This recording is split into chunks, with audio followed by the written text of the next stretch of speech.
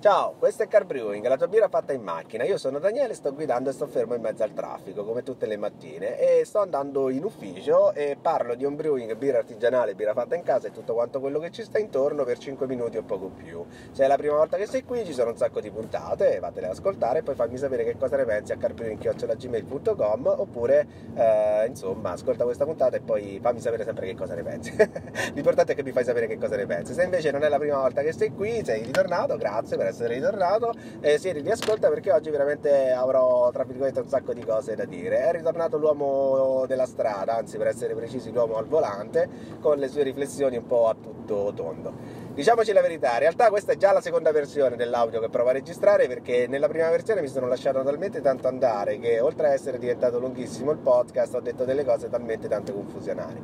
Di che cosa sto parlando? Sto parlando dell'eterno dilemma, l'avrai letto dal titolo della puntata, su che, sul, sul prodotto migliore, sulla differenza, sulla guerra tra birra e vino.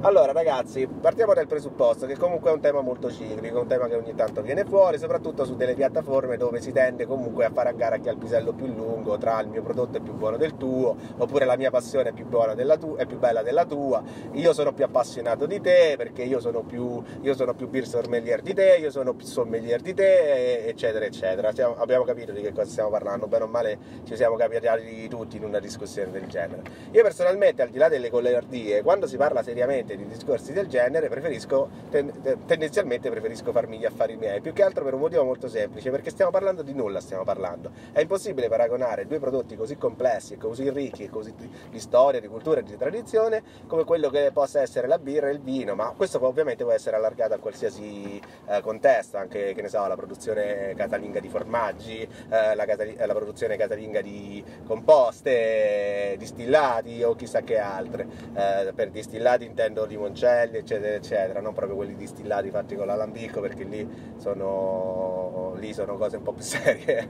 sono di, c'è di mezzo la legge, quindi non scherziamo con queste cose. È impossibile fare un paragone tra, queste, tra questi contesti, è come paragonare eh, due mondi che non c'entrano assolutamente niente tra loro. Sì, hanno dei punti in contatto, sono bevande, sono bevande da pasto, possono essere bevande da degustative, possono, essere, eh, possono accompagnare un pasto, ripeto, sì, già l'ho detto questo, possono eh, aiutare una serata o chissà che altro. Insomma, i punti di contatto sotto certi punti di vista sono tanti, però sono due prodotti completamente diversi sono due storie completamente diverse che in qualche modo non ha senso accomunare, tutto qua, quindi quando c'è la guerra, le famose guerre di religione, lasciamole, cioè, trattiamole come tali appunto, delle guerre di religione, quindi inutili, eh, quindi è inutile stare a fomentare eh, o a continuare a, a, cercare di avere ragione, prevaricare l'avversario su chissà quali punti, perché innanzitutto... Mh, non ha senso. Secondo non troveremo mai un punto uh, fermo, perché sono, ripeto, cioè la birra e il vino sono due prodotti completamente tanto diversi tra loro che non ha senso accumularli. E poi soprattutto, um, casomai se proprio dobbiamo fare una discussione, la possiamo fare all'interno dello stile stesso, della, del, del, del, tema stesso, allora cominciamo a dire qual è il vino, il vino più buono, qual è la birra più buona, qual è il formaggio più buono e così via. Però pure lì ricadiamo nello stesso identico errore, perché vino buono che cosa significa? In base a quale stile? In base a quale vitigno, oppure eh, la birra buona, in base a quale stile, in base a quale nazione, in base a quale lievito, eccetera, eccetera. Allora a questo punto facciamo un ulteriore downgrade, facciamo la gara a quale sistema di produzione è migliore. E facciamo, e allora prendiamocela con i gabbisti, prendiamocela con chi fa i kit, prendiamocela con chi fa trettini, prendiamocela con chi... cioè se, se lo scopo comunque è avercela per forza con qualcuno, oh, quanto potremmo starne a parlare? Potremmo starne a parlare per ore, per decine di anni almeno. E comunque ciò non toglie che trettini in merda. Comunque in ogni caso ritorniamo un po' su sul tema principe della giornata. Di fronte a queste discussioni dovremmo cominciare a essere un po' più incisivi del tipo hai rotto il cazzo, perché è impossibile portare avanti una discussione su un tema così complesso e così articolato dove soprattutto non ci porta e non ci porta a niente. Recentemente mi è capitato di leggere su internet una discussione dove si faceva eh, elogi, diciamo così, di eh, un vino da tavola, non da tavola, da cucina per cucinare, che viene solitamente utilizzato per cucinare, quello molto a basso costo, quello che viene venduto in brick, eh, e viene, veniva elogiato come vino buono e poi soprattutto veniva fatto anche un confronto del tipo perché la vera birra, tra virgolette con la, con la V e la B maiuscola tra l'altro, leggendo i vari commenti, erano quelle industriali, quelli che finiscono per etti, tanto per capirci, perché sono quelle le vere birre, perché quelle sono vere birre che devono essere fatte in un certo modo. Ma che cazzo significa una cosa del genere? Non significa assolutamente nulla.